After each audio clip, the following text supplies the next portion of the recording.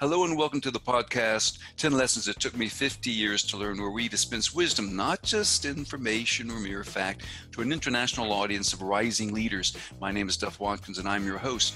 This podcast is sponsored by the Professional Development Forum, which helps young professionals of any age accelerate their performance and their career in the modern workplace. And today you'll hear honest, practical advice that you can't find in any textbook because it took 50 years to learn this stuff. Our guest today is Eddie Grobler. Eddie is the well, he had a 20 plus year career in MasterCard, International MasterCard. You know, the one in your wallet, you know, this one with the logo.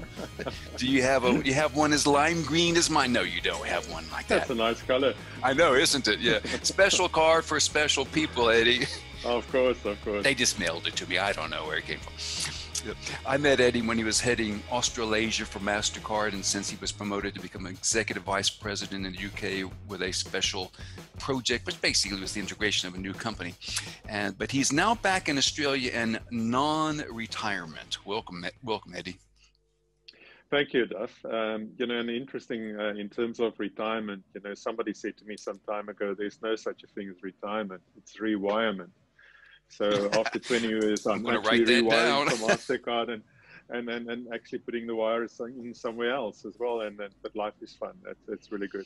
Yeah, I, I know you're doing a variety of, of things. Um, uh, uh, philanthropic, I suppose, is one of them. Now, to start, let me ask you the first question. You come from South Africa, which uh, was, is a developing country. Do you recall your first business lesson? Yes, you know this. This was in I think in in 1985 uh, when I uh, started to work with one of the banks in South Africa, and um, the, there was a person that I I really always respected. He was not my direct boss. He was a boss. You know, he, mm-hmm. my boss reported into him, mm-hmm. um, and he. Um, he was a person that I always respected, and I, I felt that he had a lot of wisdom uh, but he actually uh, reconfirmed the concept of ownership with me, you know, and taking ownership for everything that you do in life. Mm-hmm. And he, the I, I, think what made it so valuable to me is that he actually shared it in, in a story, a, a true African story with me. And then I can share the story with you if you want me to. Um, but that really resonated with me and it stayed for me for my life. And I've actually tried to share that with my family and even people that I'm mentoring as well is, is the whole concept of, of ownership and taking ownership for what you do and what you stand for. Mm-hmm, mm-hmm. Hmm. Okay, how about what have you unlearned lately? And by that I mean something you absolutely positively knew to be true then, but now you realize is not the case. Yeah, this is possibly a, a bit more in a philosophical way. You must keep in mind that I've been in corporate life for about 40 years. And, um, you know, when I retired, you know, it's obviously something that actually I realized. And this is the concept of that systems actually are bigger than individuals, and, and systems have their own kind of uh, pace and their own kind of momentum.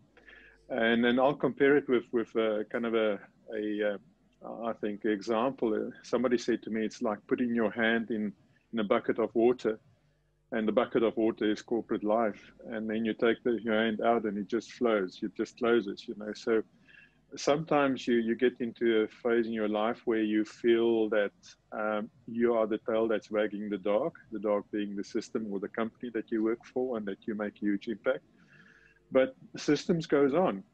That doesn't imply that you can't make an impact on organizations and mm-hmm. you can't actually contribute. That's definitely not what i'm saying but what I'm saying is that, you know, I think all of us go through kind of phases in our lives where we feel that we, um, you, you know, if, if we're not part of the organization, they will definitely suffer and won't be able to move on. That, that's not true.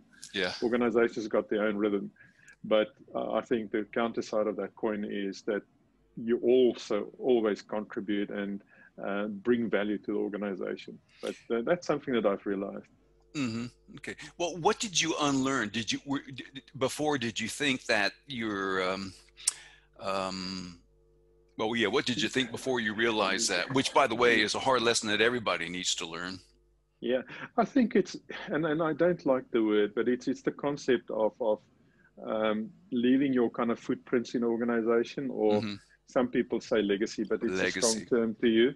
Mm. Um, but you know, it's it's that that kind of concept that that I've unlearned. You know, is that you you must respect kind of systems, and systems got their own kind of momentum going forward, mm-hmm. and you must respect the fact that people possibly will forget the contribution that you've made. It's not a personal thing; it's just systems move on. You know, mm-hmm. and, mm-hmm. Um, I think it's possibly more through the lens where I'm now, where I'm looking back on corporate life for a long time, and you know, I've been part of that system, and you know, reflecting on myself as well for people that I worked for. Um, I never, when they left the organization, say retired or moved on, I'm not always very good to keep kind of contact and, and, and keep that going. Mm-hmm. And, and and that's a kind of a thing that, that I'm experiencing now as well is that life goes on, you know. Mm-hmm. Uh, and um, in in the, in the phase of my life where I'm now is I spend a bit more time in, in, in developing and creating networks, um, you know, possibly a bit more time and energy than in the past.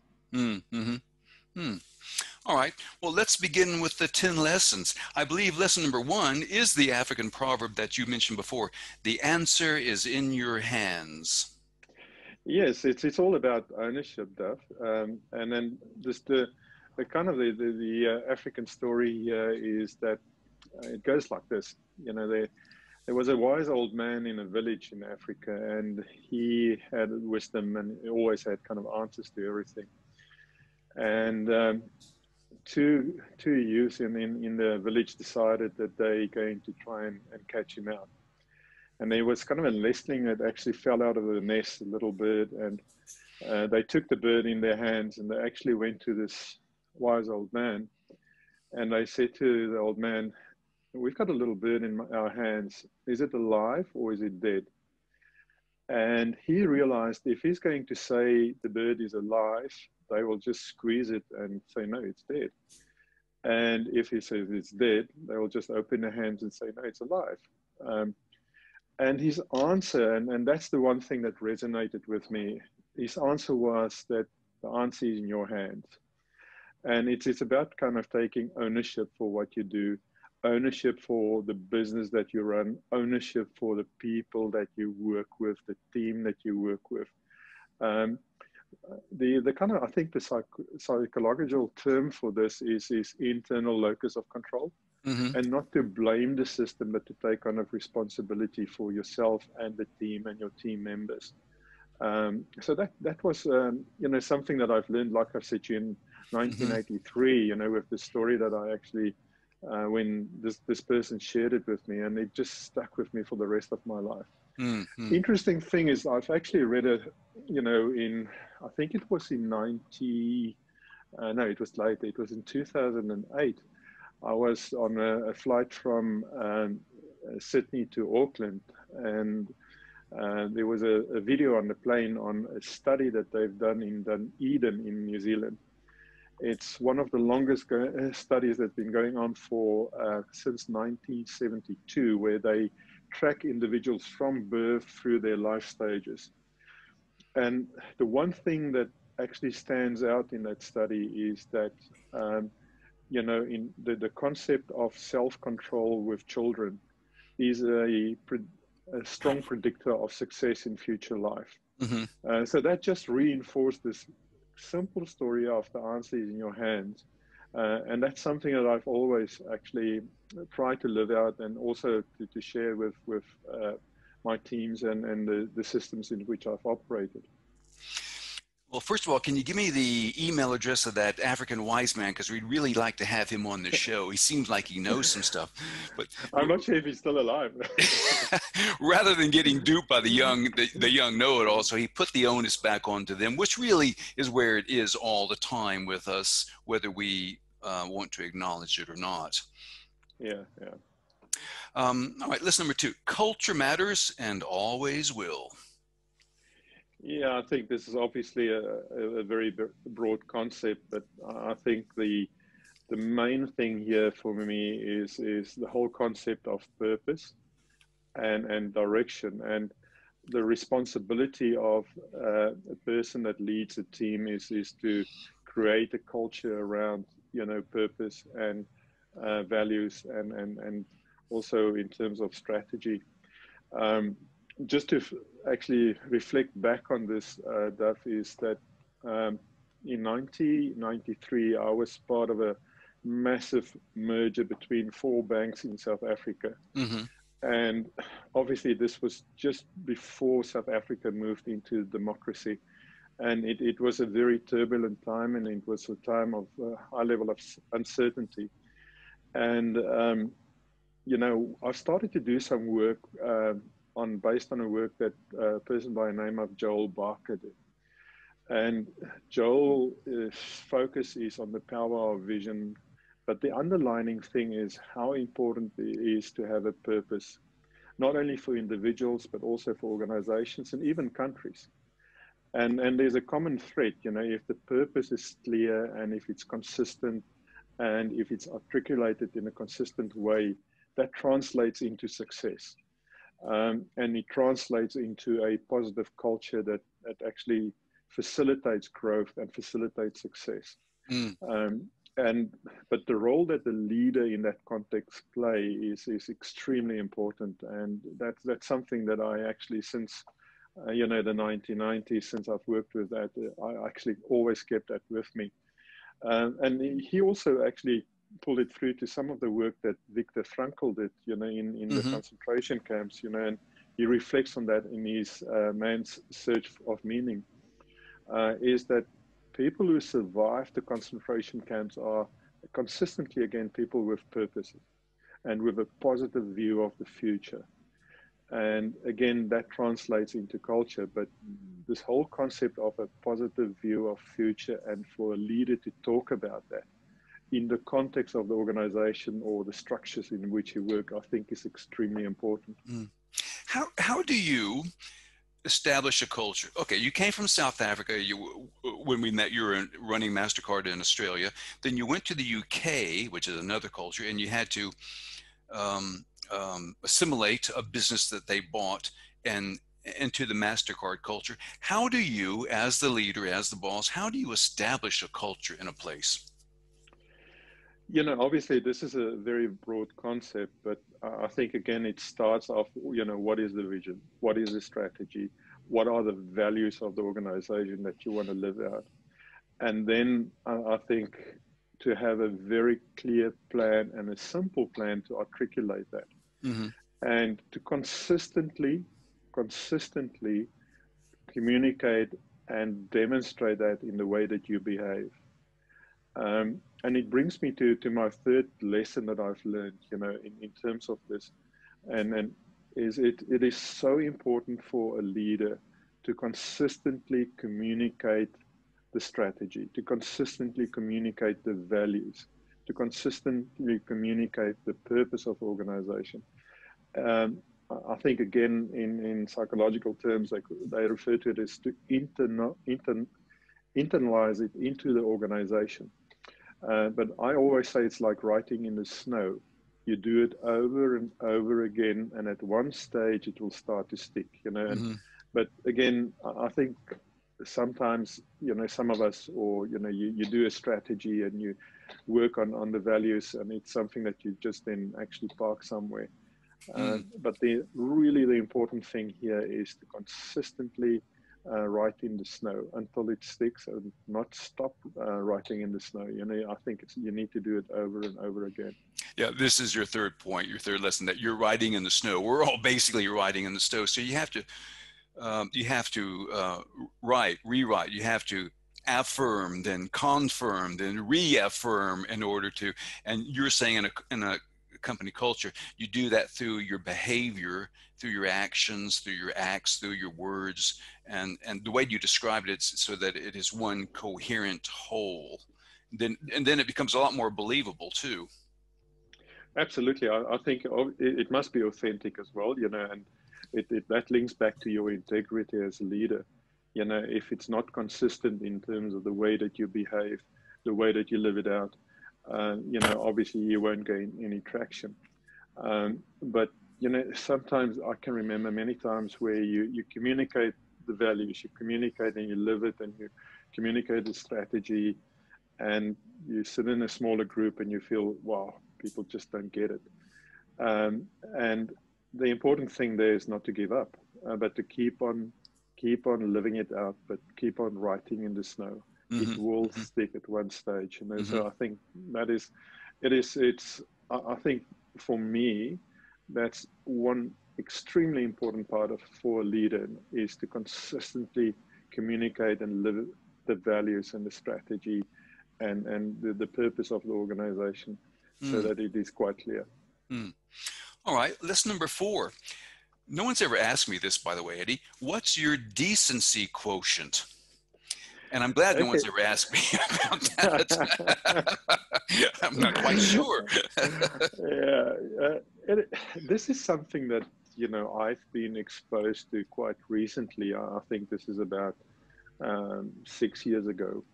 Um, we obviously know that there's the intellectual component, and then they uh, refer to uh, emotional intelligence. And uh, but the CEO of, of Mastercard, Ajay Banga, introduced the, this concept of the decency quotient.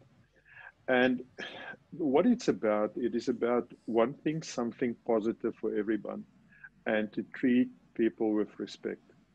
Um, and, you know, Ajay for me is a wonderful reference point. He lived it out. He's just got it in his DNA to be like that and to live He's the former head of MasterCard International Worldwide, right? He's still he's still still uh, still, still the boss, still CEO. the CEO, and uh, you know you will actually I think his his new role early next year will be possibly to be the chair of Mastercard, and mm-hmm. somebody else will take over from him. Uh, but uh, Ajay did a phenomenal uh, job with MasterCard in a way that he's actually transformed the organization. And I, I think embedded in that is this whole concept in terms of the, the culture that he's created around uh, p- treating people with respect and decency. Mm-hmm. Um, and it's actually, I think, the way that it actually translated into, at least with the leadership of that organization, is uh, I think it's one of the best companies to work for. Mm-hmm. Um, and and it and I think it just reflects back to the things that we've discussed earlier as well. Uh, but Ajay has actually put a bit of a tag on this and said this is what we should do. We should all actually be aware and, and try to live out this concept of uh, the decency quotient. Mm-hmm. Mm-hmm. And you know, I've, I've tried to, to integrate it. It's it's something that I think as as um, as when you actually responsible for other people, um, you know, I think the, one of the basic things that you need to do is to have that whole concept of, of, of uh, respect for people that you work with and respect for the mm-hmm. environment that you work in. Now, this seems kind of bleeding obvious, really. Now, you've been in business 40 years, so so why why why does this message need to be written in the snow, repeated, affirmed, reaffirmed over and over again? It's kind of basic, isn't it? or shouldn't it be in business? It, it should be, but I think as, as part of this, you know, it's if, if you get into the normally kind of daily activities and stuff like that, it you, you sometimes, you know, you, you get kind of in the operational zone and you, you get so kind of bogged in, in things that's possibly urgent but not important. Mm-hmm. Uh, I, I think this basic stuff that we're talking about now is not important and it's not urgent but it or it's important and not urgent mm-hmm. uh, it's something that really are extremely building blocks in terms of the future and the success of organization and i feel if if i may say you know it's it's you know this basic kind of components actually played a role in i think the success that i had as a leader uh, it's not rocket science. It's just to, to actually keep the basic stuff in mind and to live it out. You know, mm-hmm, that, mm-hmm. that's the important thing. Mm-hmm. All right. Um, lesson number five: Your mindset matters a lot. yes, uh, you know, this is again a, a, very basic thing. Is is is the whole concept of, of of having kind of a positive mindset. In a way, it reflects back on on ownership. You know, but you know it's it's if if if you develop kind of a lifestyle and an approach to be positive about things and positive about outcomes uh, it it creates energy within yourself and it creates energy within your teams as well uh, this is something that I, I, think I was lucky enough to get from my dad. You know, I uh, I um, actually grew up in, a, in an environment where I was quite involved in, in sport. And, um, you know, and. Well, let me guess rugby. Somebody from South Africa plays rugby. Am I right? uh, yeah. How did you know?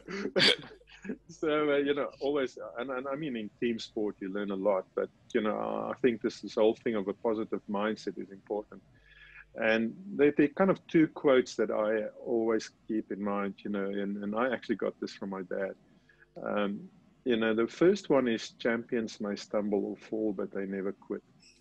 And a little story that I can actually share with you here is, is that, you know, I was uh, 12 years old, 13 years old, and I uh, played for my province rugby at that stage.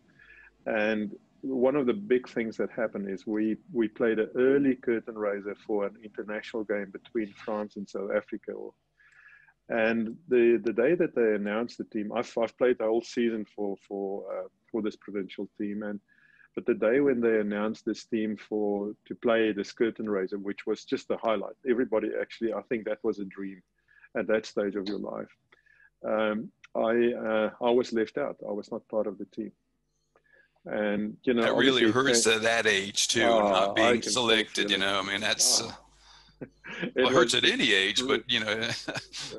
I i can remember that extremely well. Uh. um, but um, you know and my my dad was always you know he actually was in a position to actually support me and always be at my games. And he was at that practice where, where the, when the team was announced as well. And uh, when I walked off, I was actually I was in, in, tears, and I actually said to my dad, "Dad, this is not going to be the last time that I play provincial rugby. I will play again.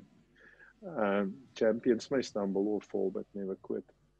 And uh, he actually, in a in a way, used that throughout my life. You know, where he actually put a bit of a, bit of a label on me as a champion every time that I feel I struggle a bit. You know um, but that that is just that that positive energy, you know, is is is is is not to give up, but also to see this kind of as challenge.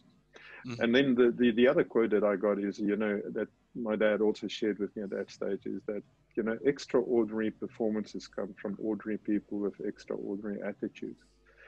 And it's amazing how a positive at- attitude just rubs off on people. You know, um, and I think all of us have been exposed to people with a negative or glass empty attitude.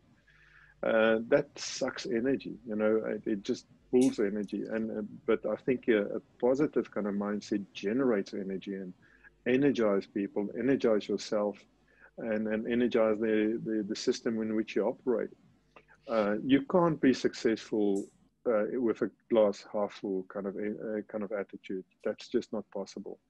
And as a leader, you must be extremely, extremely aware of that. Uh, even when it, it's it's a challenging time, you know, and then you've got that kind of moment of weakness where you want to blame the system, or you want to blame something. Uh, that makes a huge impact on, on the team. And I think as a leader, you need to be very aware of that. And uh, this is where this is kind of positive mindset is very important. Is is to share that always the positive mindset. I think that's that's extremely important. A, a, psychological term for that, which I like, is, is called reframing. You take a situation and then you reframe it in such a way that yeah, makes yeah. more sense to. And, and I think that this, what they really. This is the first one for me. I, I haven't done that before. Uh, that, ref- that yeah, yeah. Sense. Yeah, yeah, reframe. Yeah. I mean, whatever the situation is, you say you might have a, an initial visceral reaction. Oh, it's bad, it's negative, it's hostile. And oh, wait a second, you know, reframe it. What's good about this is always a yeah, good question. And what it, what you end up doing is, as you know, it's what you tell yourself, the conversation you're having with yourself, because you're always interpreting the situation, reality. Um, yeah. or your, your perception of reality.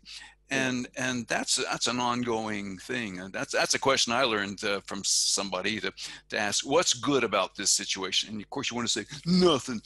But that's not right. okay after you after you answer that then say okay what's good about this? And if you look it won't be hard to see something good about yeah, it. yeah uh, framing. No that's mm. that's a good concept. I'll definitely take that one. Um, lesson number six far or fast you choose. Yeah, you know, there's there's a saying that, um, and this actually deals with with teams, you know, and you know, like I said, you know, I I, I grew up in a sport environment playing team sport, and, and you know, I'm I'm passionate about you know how teams operate and effective teams, but this far or fast you choose, you know, the the the saying goes like this, you know, if you want to go fast, go on your own, but if you want to go far, go together. Mm-hmm. And it links back to everything that we've shared with each other you know now it, it, in terms of what is the purpose where do you want to go? Consistently communicate that and you know and and and try to mobilize your team and, and people to move with you in that direction. Um, it's not sustainable to try and go fast you know that this just doesn't work you know on and on your own and specifically in corporate life uh, you, you, you must understand this concept that if, if you want to have an impact, not only in terms of the organization, but if you want to have an impact in business, you can't do it on your own. You can't go far on your own. The only way that you can go far is, is with, with, with, with people and with your team and in a corporate environment, possibly cross-functional with other teams, with other kind of components in organization. And this is this whole concept of networking in organizations. is It's extremely important. And uh, so I think from, you know, it's something that I always remind myself, you know, is you, you tend sometimes you want to go fast, but just keep in mind, you know, if, if you want to achieve this is you need to work and you need to take the system with you and the different components of the system. My way of saying that, and I tell young people in business, it's not me, it's we. it's always we. and I get a lot of me sometimes. yeah, well, I did this and I did that. And I think this is where also I think the way that we communicate is important is is we must be so careful not to say, you know, I achieved this, I did that. It's, it's always, you know, uh, I think mm-hmm. to recognize that mm-hmm. in terms of the, the, the, team that you play with or the team that you work with. Mm-hmm. Um, point lesson number seven make recognition your job well I, I think what do you mean by that it, it links into the, the, the, previous one you know is is that uh, your success is embedded in the success of the team and in success in the bigger scheme of, of the organization but uh, it's again uh, i think Duff, to something that you said earlier in our discussion it's not rocket science but it is mm. so basic is, uh, as a leader, you must make recognition your job. And, you know, but I think sometimes we can also take recognition a, a bit further as well, and we don't do enough of that. Let me share a story with you that I've experienced, and, and it actually had a huge impact on my life. Um, this was, I think, in, in the early 90s uh, when I worked, it was also in the financial services industry, and uh, the, the boss that I worked for was he, he was really a role model for me as well in, in terms of uh, how to do things. Um, but one day when I arrived home, my wife actually showed me a letter that he wrote to her. And in the letter, he actually recognized the role that I play in the team and organization. And mm. he also recognized the role that she plays in, in, in my support. Uh, now, this is 30 years later, Duff, and we still have that letter. it, it is an mm-hmm. extremely important part for me. And I've started to use that practice as well. You know, I, I wrote many, many letters to, uh, you know, um, to my team members, kind of meaningful others, you know, partners, parents, um, you know, and uh, it is something that I think I'm possibly recognized for, but it's it's a practice that you know I've I've actually got from from uh, a boss that I've worked for. Mm. Uh, and this this why you know I'm saying is recognition is we sometimes you know it's again a, a, broader kind of concept that you can talk, but I think we sometimes just need to think about the power of recognizing the our team members and the systems in which they operate outside of the working environment, mm-hmm. uh, and the role that those systems actually play to support them uh, you know, I, uh, you know, I'm, I'm a firm believer in that. You know, every end of the year, I actually wrote a handwritten letter to all of my team members, uh, you know, thanking them and their families for the support. Um, and then, and I think that is again extremely basic thing, but um, I've been on the receiving end of that, and I've experienced the value of that. And um, you know, um, I think it is something as uh, that we as leaders uh, also again possibly need to be, make a bit more time for. Yeah, you know, there's a normal kind of structures in organizations which we can use to recognize. You know, and and then that's good. And then I think we need to do it. But I think it's just going that extra step, that extra mile. Well, I always say, I mean, it's the, the phrase for it is psychic income, you know, the expression of appreciation yeah. of somebody. And it costs the company nothing, nothing. and yet, why, you know, it's, it's like it's, it's such a rare currency. The uh, I'll tell you a funny story because you just made me think of one. When I used to run psychotherapy groups in the Sydney psychiatric hospitals, I was dealing with the sickest of the sick. And I had a, uh, um, a nurse, young nurse, who was assisting me just gather the patients up and got to get the chairs in a circle, things like that. And so one, it was after Easter because the chocolates were on sale. So I bought some some chocolates. Uh, uh, on sale, and then uh, the next day I went into the hospital and I said, um, I can't remember her name. I said, um, uh, a small token, a small gift to thank you for your assistance and helping me with the groups uh, over the course of these months. And she looks at me stunned, and then she grabs me by the tie, pulls me forward, and kisses me right there on the ward in the hospital, and hmm. says, That's the first time I've ever been appreciated in my career. Wow, wow, wow, wow. Yeah. And I thought to myself, should have given her a box of chocolates, you know. oh no, no, that just that just slipped out. Maybe we'll edit that bit out. But but you know, think about that. A professional nurse who had been working, she wasn't a kid, she'd been working for years. And yep. the first time and nobody ever said thanks you're doing a great job or i appreciate your efforts or and i, I see that so many times. I hear it so many times.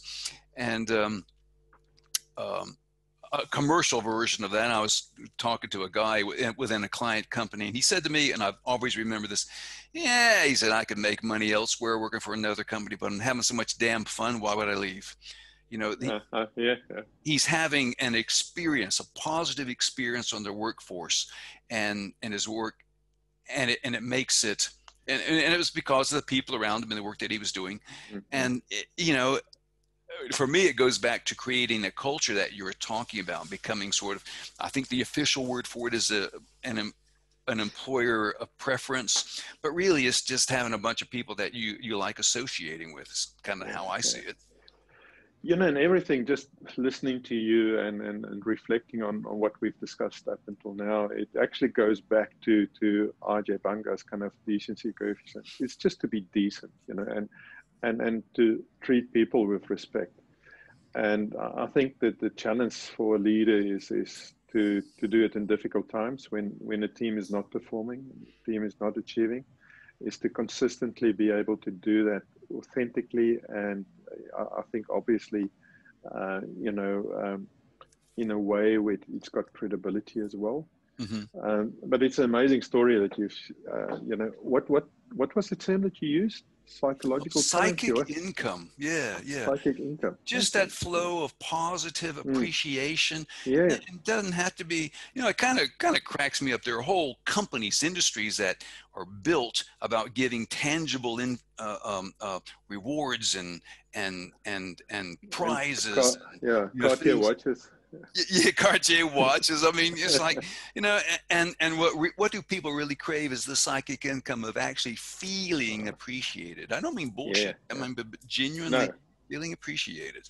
Yeah, yeah, yeah. Hmm. I must remember this then. Okay. Uh, point number eight. Now you'll have to explain this one to me. I don't understand. Reverse mentoring. See, that would that would imply that I don't know everything. See, and and that's what I'm having difficulty with. Is So explain reverse mentoring. Yeah, yeah.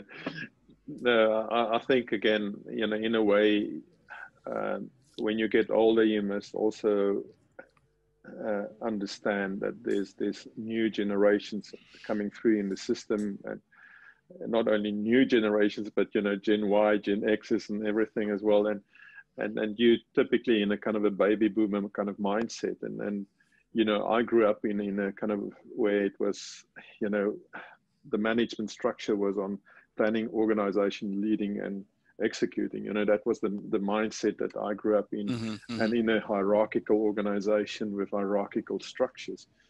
And uh, so it, it uh, and obviously you try to transform yourself as a leader uh, and you do that. And one of the uh, ways that I've actually tried to do that is to, to implement the concept of reverse mentoring. So what it's about, Duff, is, is that uh, to identify one of your high potential young and upcoming professionals in the team or and and to use him as a kind of a mentor for you in terms of how they approach life, how they approach kind of the work environment, what is important, and how they actually would like to address things like that. And you know, it's it's something that I've uh, started to do about eight years ago, uh, and you know, it, it, was of huge value for me. You know, um, in, in, in, in to, to actually get kind of insights in terms of how the new generations think about work. Um, you know, I, have briefly touched on it, but you know, when I started to work structures, you know, we worked in hierarchical organizations. Mm-hmm, mm-hmm. And then we moved on to, to kind of matrix organizations, which was again, from a leadership point of view, something that, you know, I had consciously had to work on and how I adapt my kind of leadership style. And quite recently, or the last five years, I think organizations actually moved from kind of matrix organizations to network organizations, uh, where it was more about how the network comes together and works together. And I think in the context of, of the COVID now as well, where more and more people work from home and, you know, where, you know, I've heard about somebody that actually um, said, I think it possibly was you that said to me that uh, um, there was a lady that actually she's got a kind of a global team and she hasn't met two of the team members in person ever. They've been working together for three years. Hmm. But but this whole concept of of, of uh, you know reverse mentoring for a person that I think is in a you know in a possibly a different kind of life stage uh, was very important for me and and and to to help me to understand that process. So I think it's a conscious thing as well is is to to uh, consciously try and understand you know what the mindset is of, of of the newer generation and what works so that is reverse mentoring uh, the the other uh, two components that I think is important is uh, uh, is uh, the concept of sponsoring you know is is where you the sponsor or where you the sponsored person um, but let, let me talk about the scenario where you're the sponsored person. Um, working in a global organization, in a multicultural organization, uh, I think it's extremely important to uh, have sponsors in the organization and to consciously work on that. Uh, and specifically, you know, I think possibly, for example, for me moving from South Africa, South Africa to Australia and from Australia to London, uh, what I consciously did is I, have I've tried to identify individuals in the organization and or even outside of the organization that can sponsor me and that can help me with the transition and can help me with the cultural components of the new culture in which I, I operate. Um, you know, for example, the um, when I moved from South Africa to um, to Australia, you know, I identified a person and he added a lot of value to to my career. But one of the you know, he said to me two things. The first thing he said to me is, uh, "Don't ever compare Australia with with South Africa. Australians don't like it."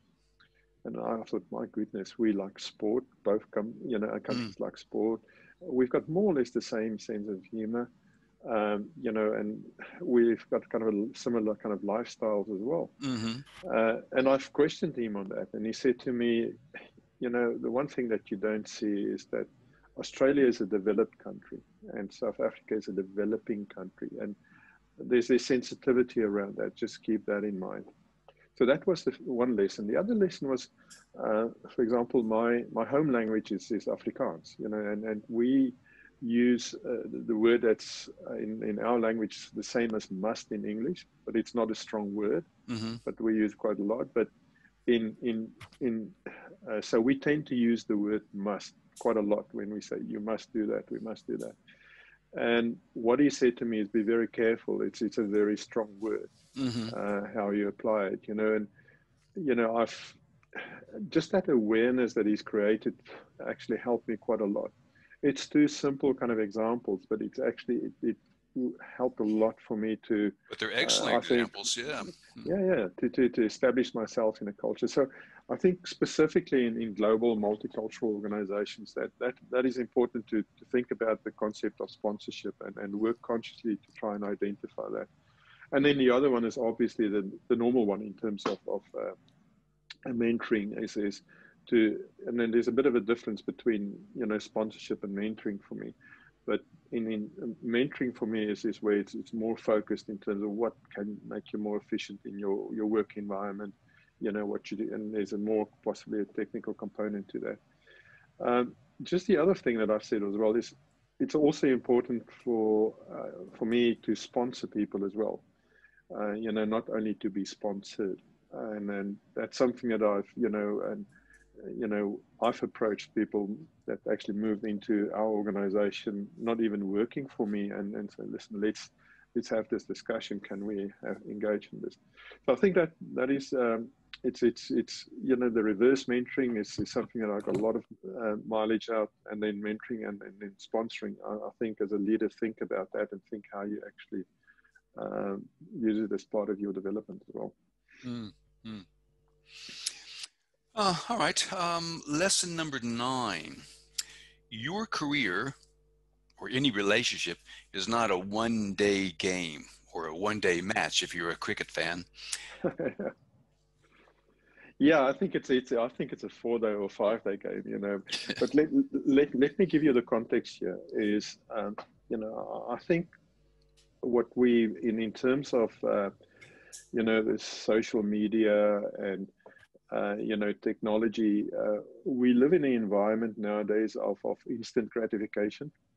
Uh, you know, if, if you want to buy something tonight at 11 o'clock, you buy it and you get it tomorrow. You know, if you want to send a message to somebody, you WhatsApp him now and you get a kind of feedback immediately.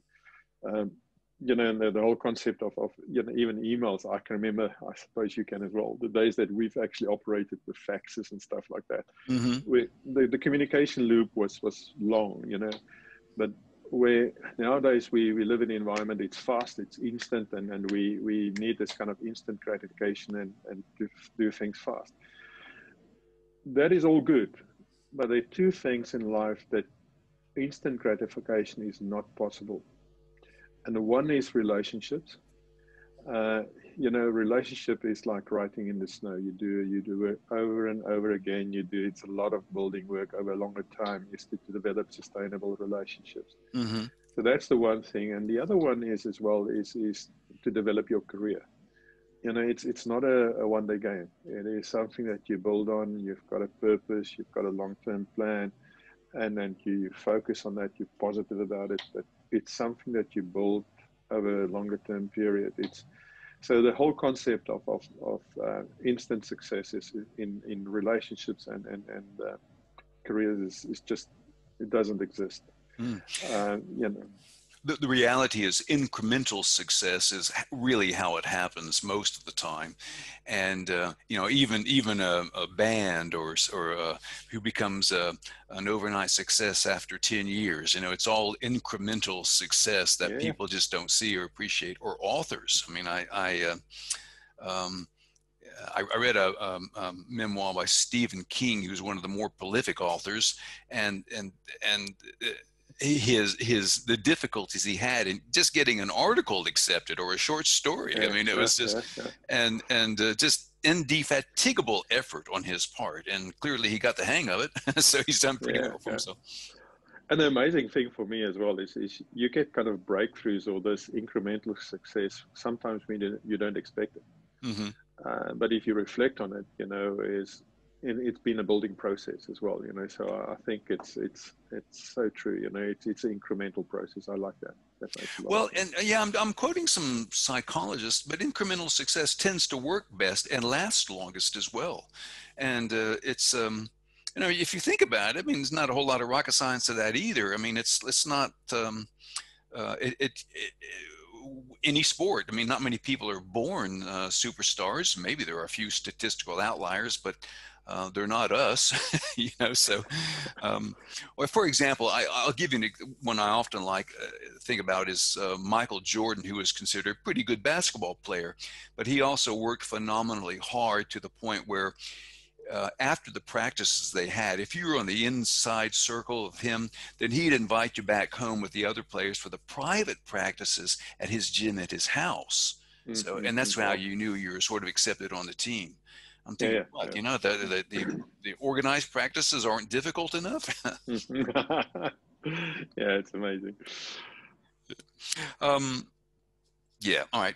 Lesson number 10 don't jerk the knee or shoot the mouth. yeah, I suppose this is about, you know, is be careful what you say.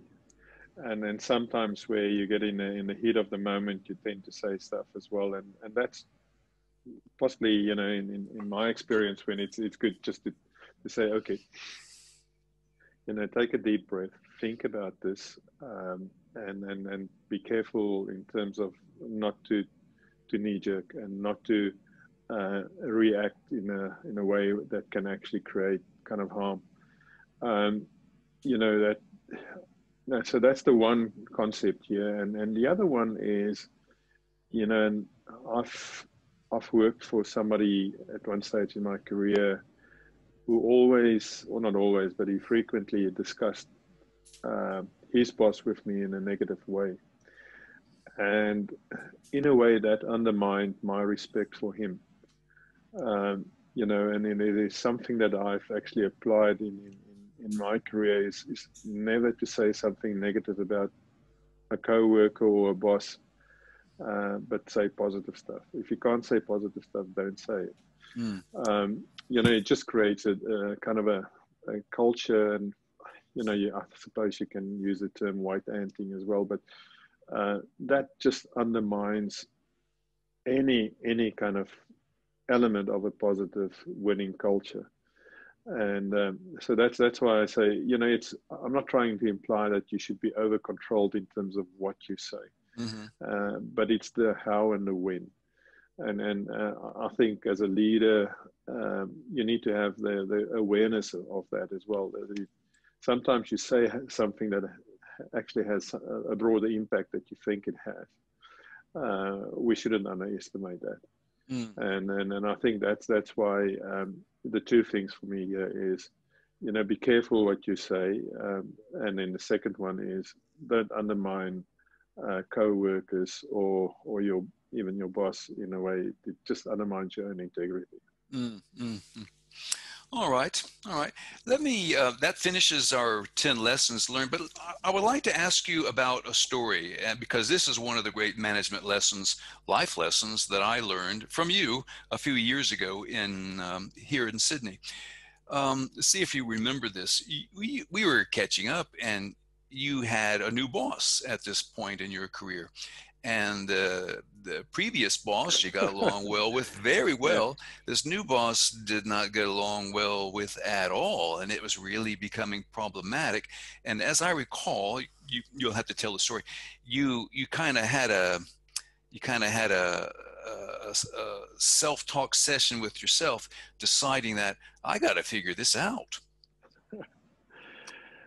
Yes, indeed. I mean, it, the context here is, is if, if I can I can remember that very well, Duff, is you know the person that appointed me in Australia uh, was a person that I had a huge amount of respect for him, and he was my sponsor, he was my mentor, and you know I was in a way I, I think um, one of his his core team members as well. So, and and when he retired, he was replaced uh, obviously with, with a new person and, and, and this person's kind of mission in life was to um, to try and, and change the whole system and uh, more specifically focus on people that were possibly too close to the previous leader. And I was one of them. Um, so I felt the brunt of that and I, I felt the very very dis, you know uncomfortable and you know, uh, I was placed in a hot seat many times in front of my team uh, for uh, possibly not always the right reasons. Um, and um, this is something when you go just through the process and you say, okay, is this worthwhile to do this? And again, I, I think if, if you think about the 10 building blocks that we've discussed today, you know, is, is you know, what is your purpose? Uh, you know, be positive about this. Uh, you know, be consistent in terms of what you do and, and so on. And, you know, I've uh, obviously had a, a long chat with, with, with uh, one of my, my best coaches, is my wife. And, um, you know, she said to me, listen, this is what you stand for and, you know, do your best and let's see where it lands. And, you know, I've uh, actually made a conscious decision that, you know, uh, champions may stumble or fall, but they never quit. And I'm not going to quit on this one. Uh, long story short, and I'm extremely proud of that, is that this person uh, was possibly just before he left the organization, one of my biggest sponsors. Uh, we still have contact today, uh, you know, and um, I think we call each other, I not think, I know, we are friends. Um, and then, you know, the, the satisfaction that you get out of that to, to change a person's kind of view on, on you. Uh, and these, this kind of perception was possibly built on that I've been too close to the previous boss. Um, but to, to be able to, to change that kind of mindset uh, is a, was for me was extremely extremely satisfying um, and the change was based on our outputs. The change was based on the success that we had as a team here in Australia. We won market share. We've actually, in terms of the revenue that uh, we generated for the bigger organization, we moved from number five in the world to number two in the world. So I made it easier for him as well to accept me as well, I suppose. But mm-hmm. uh, again, that that's the kind of the I, I, think all the or most of the issues that, or components that we've discussed earlier today is is is consistently to apply that, and and and and again, not to be kind of have this external locus of control and to blame it on your boss, but to focus on what you and a team can do. How can you actually perform this? How can you actually uh, achieve your your kind of um, purpose and, and, and your strategy. And um, I think at the end of the day, you know, it, it, I'm, I'm, it's something that I'm extremely proud of is that uh, m- most of the, the people that I've worked for, we have still very good relationships. I think I've shared with you the other day is that this person that shared this African story with me, um, I, uh, I haven't had any contact with him for about 30 years now. And about two or three weeks ago, I actually received on LinkedIn a message from one of my previous bosses in that same time. And he said to me that this person actually is turning 90 and uh, they would love to have to, for me to send him a message, you know, in terms of uh, wishing him all of the best and uh, and so on. And that was extremely special. So um, we've got contact now again. Uh, this, uh, you know, and and, it, it's it's very very special. Mm. The, the, reason I like the, the story with your the the difficult to get along with boss is because it shows it reveals the, who has to make the effort. You know i see i say to a lot of younger people stop waiting for the boss to come to his or her senses and recognize your brilliance. Yeah. you are the one you take responsibility. All the points you just said you know the onus is on you to figure it out to work it out to find a way. And um, it may or may not be easy and that's when I, I i quote that story that you tell me and i i did i knew that it had a happy ending i didn't know that the ending was that happy but i'm not surprised so i'm i'm i'm um, I'm proud of that story too, Eddie. And I did it, was not, it wasn't even me. oh, I suppose we, we can end where we started. It's, it's the answer is in your hands. You know, it's, it's, it's um, if you want to make it work, you you can make it work. You know, and uh, so uh, yeah, I'm I'm also extremely proud of that. It, it, it's it's it's uh, it's a it's, it's a great achievement. It's a great achievement. I mean, and, and yeah, a great achievement. Period. And it's a really good achievement, a great achievement in the corporate world as well. Because yeah. You know, yeah. there's this, there's another thing uh, that that uh, you know, and, and, this is possibly about life, and it, you know, I'm not sure if this will be part of the broadcast, but um, you know, I've got a very, very good friend. We went to university together, his wife and my wife as well. And we got married more or less at the same stage or same age. And uh, they had two daughters and we had two daughters, and uh, so and we were extremely good friends. And one day I arrived back from from US and I was, you know, on in, in Johannesburg on the airport, and I got a, a, phone call from him, and he said to me that his, his uh, youngest daughter was killed in a car accident. Mm. And the one thing that he said to me, obviously, he was extremely emotional, and we spoke about it. But he said to me, and we've we've discussed that many times after that as well. He said to me, "What what what makes it easier for him is that they don't have any any unfinished business. Mm-hmm. Uh, you know, and, and, that actually was just another thing that stuck with me throughout my life. You know, is is try to travel light. You know, and and try to unpack business and and try to get kind of closure on business and don't carry grudges. You know, um, it just sucks energy. Um, and uh, you know, but but that's uh, it's possibly a bit outside of the the definition of what we or the framework of what we discussed today. But that's another component that I think is extremely important uh, that I've experienced with a very very good friend of mine, and it, it just stuck mm. with me as well. Okay, we will finish here today on that note. You've been listening to the international podcast 10 Lessons It Took Me 50 Years to Learn.